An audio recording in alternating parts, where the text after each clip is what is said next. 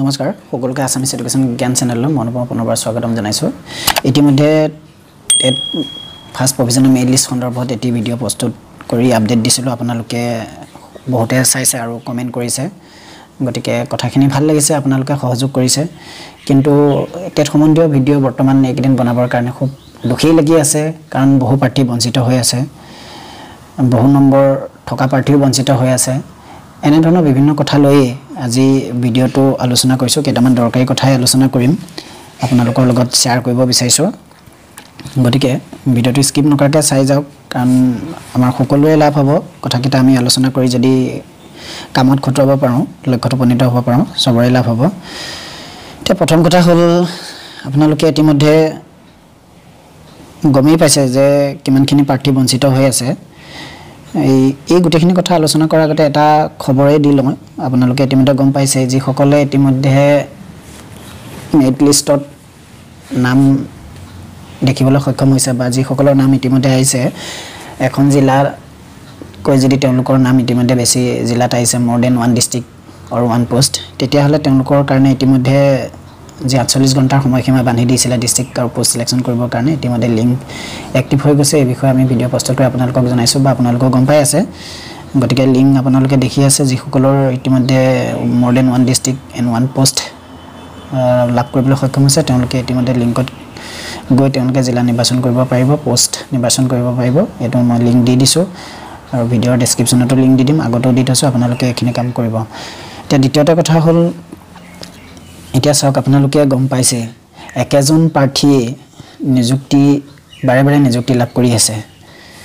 এতিয়া চাওক আমাৰ যি এডভাৰটাইজ প্ৰকাশ হৈছিলে সেই এডভাৰটাইজত লিখা আছিলে যে যদি আপুনি কণ্টেক্সুৱেল টিচাৰ হয় তেতিয়াহ'লে ৰেগুলাৰ পদত আপুনি আবেদন কৰিব পাৰিব।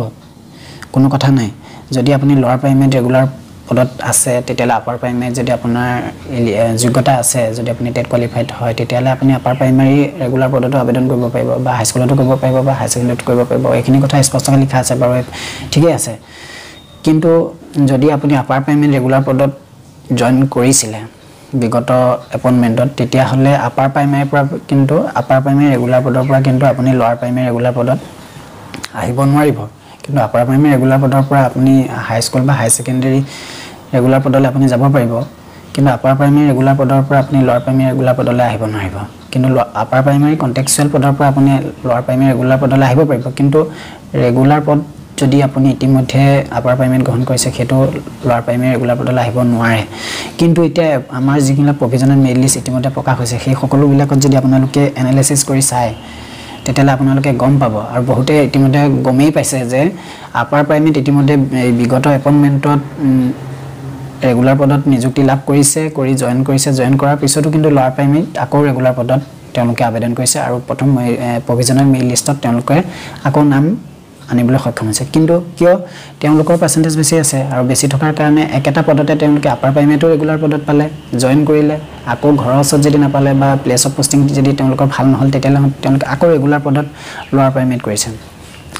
বা ল'ৱাৰ প্ৰাইমেৰীত ৰেগুলাৰ পদত কৰি থকা প্ৰাৰ্থীও কিন্তু আকৌ ল'ৱাৰ প্ৰাইমেৰীত আকৌ ৰেগুলাৰ পদত আবেদন কৰিছে। যি কিন্তু এইসকল প্ৰাৰ্থী বিশেষকৈ নতুন প্ৰাৰ্থীসকল হয় মই নতুন প্ৰাৰ্থীসকলক দুখ দি কথাটো ক'ব বিচৰা নাই কিন্তু কথা হ'ল যিজন যোগ্য যিজনে পাব লাগে তেওঁ পাওক যিসকলে ইতিমধ্যে যোগ্য হৈছিলে তেওঁলোকে ইতিমধ্যে পাইছে তাৰ পিছৰ পৰ্যায়ে পাওক এনেদৰে কৰ্ম অনুসৰি যাৰ পাৰ্চেণ্টেজ আছে পাই গৈ থাকক। কিন্তু পাৰ্চেণ্টেজ থাকিলে বুলিয়েই যে আপুনি একেটা পদতে আপুনি বাৰে বাৰে আবেদন কৰি থাকিব আপুনি এটা পষ্ট খাই গৈ থাকিব আপোনাৰ পিছৰ প্ৰাৰ্থীজন বঞ্চিত হৈ গৈ থাকিব।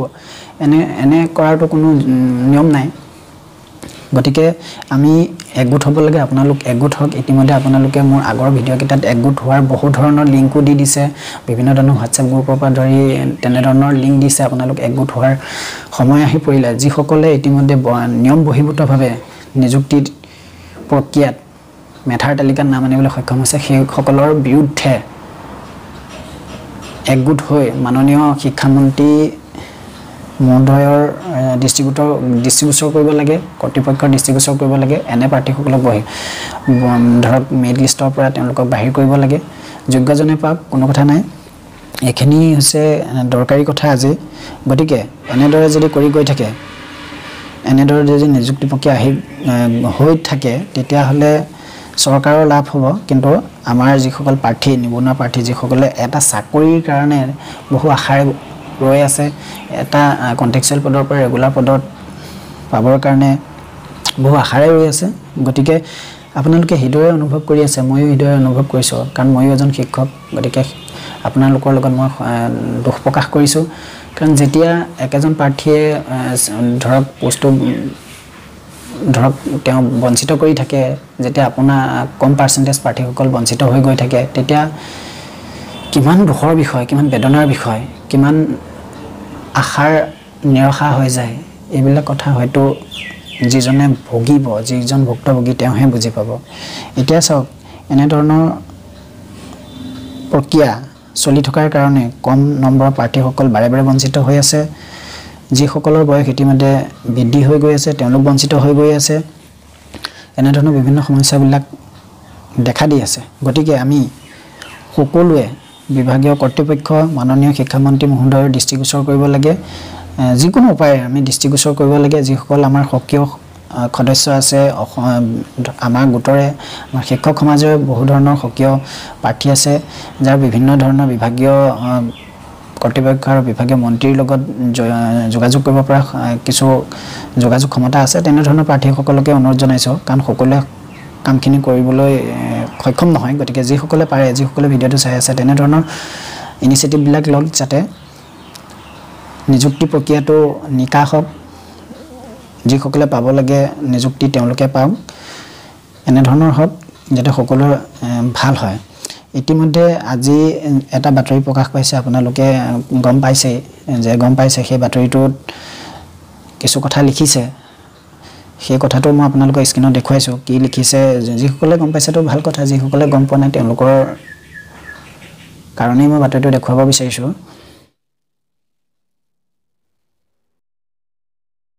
অসমীয়া প্ৰতিদিনখনত এই কথাটো লিখিছে যে টেট নিযুক্তিত বৃহৎ কলিংকাৰী এই কথাটো লিখিছে। অসমীয়া প্ৰতিদিনখন যদি আজি বাৰ ডিচেম্বৰ অসমীয়া প্ৰতিদিনখন যদি আপোনালোকে চায় ই পেপাৰেই হওক বা আপোনাৰ যি ধৰক পেপাৰখন আছে যদি আপুনি চাব পাৰে। তাত লিখিছে চাওক এই কথাটো অকণমান লিখি কৈ দিছোঁ মই জাষ্ট পঞ্চাছ হাজাৰ টকাত বিকি ডি এল এডৰ হোৱা প্ৰমাণপত্ৰ টেট উত্তীৰ্ণৰো ভুৱা প্ৰমাণ পত্ৰৰে চাকৰি লাভ বঞ্চিত প্ৰাৰ্থীৰ অভিযোগৰ ভিত্তিতহে সাতজনক বৰ্খাস্ত নৱনিযুক্ত সকলো শিক্ষকৰ নথি পত্ৰ পুনৰীক্ষণৰ দাবী। নিশ্চয় এইটো বহুত ভাল কথা কাৰণ আমাৰ যদি ডকুমেণ্টছটো ভালদৰে ভেৰিফাই নহয় তেতিয়াহ'লে এই নিযুক্তি প্ৰক্ৰিয়াত কিন্তু কোনোবা এজন সোমাই যাব। যিসকল এদি মানে পাব নালাগে তেনেকুৱা প্ৰাৰ্থীও সোমাই যাব যি আমি ইতিমধ্যে কৈ আহিছোঁ আপোনালোকে দেখিছে বা শুনিছে তেনেকুৱা প্ৰাৰ্থী সোমাই যাব পাৰে।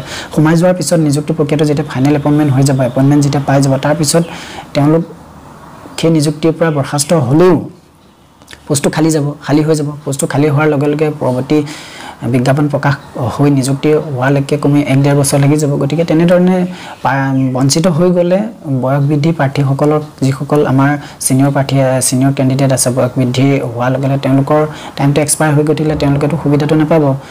গতিকে এইটো আমি ইনিচিয়েটিভ ল'বই লাগে যাতে আমাৰ এই প্ৰক্ৰিয়াত যাতে কোনো মানে ধৰক ভুল থাকি নাযায় যাতে ভাল হয় সেইটোৱে কথা। ইয়াৰ লগতে এটা কথা ইতিমধ্যে মই যিটো ভিডিঅ' দিছিলোঁ আপোনালোকে যিটো ভিডিঅ'ত সঁহাৰি জনাইছিলে সেই ভিডিঅ'টোৰ কেইটামান কথা মই আপোনালোকে সঁহাৰি জনোৱা দুটামান কথা মই যোগ কৰি দিব বিচাৰিছোঁ। আগতে কোৱা হৈছে যে প্ৰথমতে এছ এছ এৰ নিযুক্তি হওক তাৰপিছত চৰি প্ৰথমতে হাইস্কুলৰ নিযুক্তি হওক হাইস্কুলৰ নিযুক্তিৰ পিছত আমাৰ ডি ই নিযুক্তি হওক তাৰপিছত এছ এছ এৰ নিযুক্তি হওক তেনেদৰে হ'লে সকলোৱে পাব ভাল হ'ব। এতিয়া আপোনালোকে এটা সঁহাৰি জনাইছিলে মই সেইটো কথাই মই ক'ব বিচাৰিছোঁ যে যিটো ভিডিঅ' দিছিলোঁ তাত লিখিছে এজনে তেওঁলোকলৈ ধন্যবাদ জনাইছোঁ। তেওঁ গোটেই কথাখিনি সামৰি কৈছে যে সমূহ টেট উত্তীৰ্ণ প্ৰাৰ্থীলৈ আবেদন হতকাৰী নিযুক্তি প্ৰক্ৰিয়াৰ বিৰুদ্ধে একগোট আহক অসম চৰকাৰৰ প্ৰাথমিক আৰু মাধ্যমিক শিক্ষা বিভাগে নিয়মীয়া শিক্ষক পদৰ বাবে ইতিমধ্যে প্ৰথমখন অস্থায়ী তালিকা প্ৰকাশ কৰিছে। ইয়াৰ লগতে সৰ্বশিক্ষাৰ অধীনত ঠিকাভিত্তিক নিযুক্তিৰ অস্থায়ী মেধাৰ তালিকা প্ৰকাশ কৰিছে। কিন্তু যি প্ৰক্ৰিয়াৰ মাজেৰে নিযুক্তি দিব বিচৰা হৈছে তাৰ দ্বাৰা বহুতো টেট উত্তীৰ্ণ প্ৰাৰ্থী পাব লগা চাকৰিৰ পৰা বঞ্চিত হ'ব আৰু ডি ই আৰু এছ এছ এৰ বহু পদ পূৰণ নোহোৱাকৈ থাকি যাব। নিশ্চয় সেয়া নিশ্চিত। কাৰণ বেছিভাগ প্ৰাৰ্থী তিনিটা বা দুটা বিভাগৰ পদতে নিযুক্তিৰ বাবে নিৰ্বাচিত হ'লে যিকোনো এটা গ্ৰহণ কৰি বাকী এটা বা দুটা পদৰ পৰা নিজৰ নাম প্ৰত্যাহাৰ কৰা বা সেই পদ গ্ৰহণ নকৰোঁ বুলি কোৱাৰ ফাইনেল একচেপ্টেঞ্চ অৰ্থাৎ নকৰোঁ বুলি কোৱা কোনো সুবিধা ৰখা হোৱা নাই। তাৰ ফলত কোনোবাই যদি হাইস্কুলত নিযুক্তি লাভ কৰে তেওঁ ডি ই আৰু এছ এছ এটো পদ অধিকাৰ কৰি থাকিব আৰু তাৰ ফলত কম কম নম্বৰৰ পোৱা প্ৰাৰ্থীসকলক অন্যায়ভাৱে বঞ্চিত কৰা হ'ব। গতিকে এই প্ৰক্ৰিয়াৰ দ্বাৰা বঞ্চিত হ'ম বুলি ভবা প্ৰাৰ্থীসকলে পলম নকৰি তলত উল্লেখিত বিষয়কেইটা মাননীয় শিক্ষামন্ত্ৰী আৰু বিভাগীয় কৰ্তৃপক্ষৰ দৃষ্টি আকৰ্ষণ কৰিবলৈ অনুৰোধ জনালোঁ। নিশ্চয় খুব ভাল কথা লিখিছে এই কথাটো গতিকে আমি এই কথাত সহযোগিতা প্ৰকাশ কৰিব লাগে। শিক্ষা বিভাগ এক নম্বৰ এক শিক্ষা বিভাগে হাইস্কুলৰ নিযুক্তি প্ৰথমে দিয়াৰ ব্যৱস্থা কৰক যিটো ইতিমধ্যে আমি আলোচনা কৰি আছোঁ। তাৰপিছত একাদিক্ৰমে ডি ই আৰু এছ এছৰ নিযুক্তি দিয়ক। ঠিক খুব সুন্দৰ কথা। দ্বিতীয়তে হাইস্কুলৰ নিযুক্তিৰ পিছত পদ গ্ৰহণ কৰা বা নকৰা সম্পৰ্কে জনাবলৈ এক সুবিধা প্ৰদান কৰা। ঠিক একেদৰে ডি ই আৰু এছ এছৰ ক্ষেত্ৰতো পোষ্টৰ ফাইনেল একচেপ্টেঞ্চ কৰাৰ এটা অপশ্যন দিয়ক। এই সৰু আৰু সহজ ব্যৱস্থাটো কৰি দিলেই কোনো পদ পূৰণ নোহোৱাকৈ থাকি যাব নাযাব আৰু প্ৰাৰ্থীসকলো বঞ্চিত নহ'ব। তৃতীয়তে তেওঁ উল্লেখ কৰিছে অতি শীঘ্ৰেই ৱেইটিং লিষ্ট প্ৰকাশ কৰক আৰু একাধিক্ৰমে ৱেইটিং লিষ্টৰ পৰা প্ৰাৰ্থীসকলক বাছনি কৰক। ইতিমধ্যে দুহেজাৰ বাৰৰ যি নিযুক্তি প্ৰক্ৰিয়া হৈছিলে টেটৰ নিযুক্তি প্ৰক্ৰিয়া হৈছিলে সেই সময়ত মেৰিট লিষ্ট আৰু ৱেইটিং লিষ্ট দুয়োটাই প্ৰকাশ কৰা হৈছিলে যাৰ ফলত প্ৰাৰ্থীসকলে কিছু বুজিবলৈ আৰু আগবাঢ়িবলৈ কিছু সুবিধা হৈছিল। গতিকে এইটো কথাও খুব সুন্দৰ কথা। আমি এটা কথা পুনৰ দোহাৰিছোঁ যে যদি উল্লেখিত পদ্ধতিৰে নিযুক্তি দিয়া নহয় তেতিয়া প্ৰায় তিনি হাজাৰ পদ ডি ই আৰু এছ এছ এত পূৰণ নোহোৱাকৈ থাকি যাব। এইটো আগৰ নিযুক্তিবোৰৰ ক্ষেত্ৰত দেখা গৈছে নিশ্চয়। ইয়াৰ ফলত সৰহসংখ্যক প্ৰাৰ্থী নিযুক্তি নোপোৱাকৈ থাকি যাব। গতিকে আহক এনে হতকাৰী বিশৃংখল আৰু অন্যায় নিযুক্তি প্ৰক্ৰিয়াৰ বিৰুদ্ধে একগোট হৈ মাননীয় শিক্ষামন্ত্ৰী অকণমান অসুবিধা হৈছে মই কৈ আছোঁ। গতিকে গতিকে আহক এনে এক হতকাৰী বিশৃংখল আৰু অন্যায় নিযুক্তি প্ৰক্ৰিয়াৰ বিৰুদ্ধে একগোট হৈ মাননীয় শিক্ষামন্ত্ৰী আৰু সংশ্লিষ্ট বিভাগক নিজৰ মতামত আৰু অনুৰোধ জনাওঁ। যদি ব্যৱস্থা গ্ৰহণ নকৰে তেতিয়াহ'লে অহা কেইদিনমানৰ ভিতৰতে আমি মাননীয় ন্যায়ালয়ৰ দ্বাৰস্থ হোৱা উচিত। বৃদ্ধ বিষয়টোৰ গুৰুত্ব বুজি আমাৰ আবেদন যিমান পাৰে ছ'চিয়েল মিডিয়াত শ্বেয়াৰ কৰক আৰু আপোনালোকৰ পৰামৰ্শ প্ৰদান কৰক। আমাৰ টেলিগ্ৰাম গ্ৰুপ টেট উত্তীৰ্ণ সন্মিলিত মঞ্চ। জইন হ'বলৈ লিংকটো তলৰ লিংকটোত ক্লিক কৰক। গতিকে এই লিংকটো ইতিমধ্যে দিছে। এই লিংকটোত আপোনালোকে ক্লিক কৰি এই গোটত জইন হৈ আপোনালোকৰ মতামত দিব পাৰে। মই এইটো কাৰণে শ্বেয়াৰ কৰিছোঁ। গোটেই কথাখিনি ভাল লাগিছে। হয়তো আপোনালোকৰ কথাখিনি ভাল লাগিব। কাৰণ গোটেই কথাখিনি ইতিমধ্যে আমি যিবিলাক ভিডিঅ'ত কথাখিনি আলোচনা কৰি আছোঁ বিভিন্ন ধৰণৰ চৰ্চাত বিভিন্নজন ব্যক্তিয়ে যেনেধৰণে আলোচনা কৰি আছে আপোনালোকেও হয়তো চাগে বিভিন্ন ক্ষেত্ৰত আলোচনা কৰিছে। এই কথাখিনি কিন্তু ভাল লাগিছে আৰু কথাখিনি উচিত কথা। সেইকাৰণে মই ভিডিঅ'টোত শ্বেয়াৰ কৰি দিছোঁ। কথাখিনি অকণমান যোগ কৰি দিছোঁ। কাৰণ এনেধৰণৰ হ'লে আগবাঢ়িব পাৰিব যোগ্যজনে পাব আৰু যিজন মেৰিট তেওঁ পাব আৰু যিজন লিগেল প্ৰাৰ্থী কেণ্ডিডেট তেওঁ পাব। ইতিমধ্যে আলোচনা কৰি অহা নিয়ম বৰ্হিভূত যিসকল প্ৰাৰ্থী তেওঁলোকে কিন্তু নাপাব। আৰু লগতে মই এজন শিক্ষক হিচাপে ময়ো এটা বেলেগ গ্ৰুপত আছিলোঁ। সেই গ্ৰুপত ইতিমধ্যে এটা বিষয় এজনে শ্বেয়াৰ কৰিছে যে যিবিলাকে ইতিমধ্যে আবেদন কৰিছিলে তেওঁলোকে ইতিমধ্যে য'ত নিযুক্তি লাভ কৰিছিলে ধৰক বিগত এপইণ্টমেণ্টত নিযুক্তি লাভ কৰিছিলে পুনৰবাৰ আবেদন কৰা ছেম প্ৰাৰ্থী বুলি এখন লিষ্ট প্ৰকাশ কৰিছে। কিন্তু এই ক্ষেত্ৰত মই কনফাৰ্ম নহয় কাৰণে এই বিষয়টো মই ইতিমধ্যে শ্বেয়াৰ কৰা নাই। যদি আপোনালোকে পাইছে সেইটো আপোনালোকে চাই ল'ব। আৰু যদি সেই বিষয়টো কনফাৰ্ম হয় তেতিয়াহ'লে মই যোগ কৰিম। ইয়াতে যদি কিছু কথা কোৱাত বহা তোতা হৈছে তেতিয়াহ'লে আপোনালোকে যোগ কৰি ল'ব আৰু কিছু কথা কওঁতে হয়তো বহাটোতে হৈ যাব পাৰে। গতিকে ইয়াৰ লগতে বহুতজনে কমেণ্ট কৰি আছে মই কমেণ্টখিনি ঘূৰাই দিব পৰা নাই। তথাপি আপোনালোকে কৰা কমেণ্ট আৰু কথাখিনি মই বুজি এই ভিডিঅ'টো প্ৰস্তুত কৰিছোঁ। লগতে কমেণ্ট কৰাৰ কাৰণে সকলোকে ধন্যবাদ জনাইছোঁ। আপোনালোক একগোট হওক নিয়ম বহিৰ্ভূত প্ৰাৰ্থীসকল যাতে বঞ্চিত হৈ যাওক।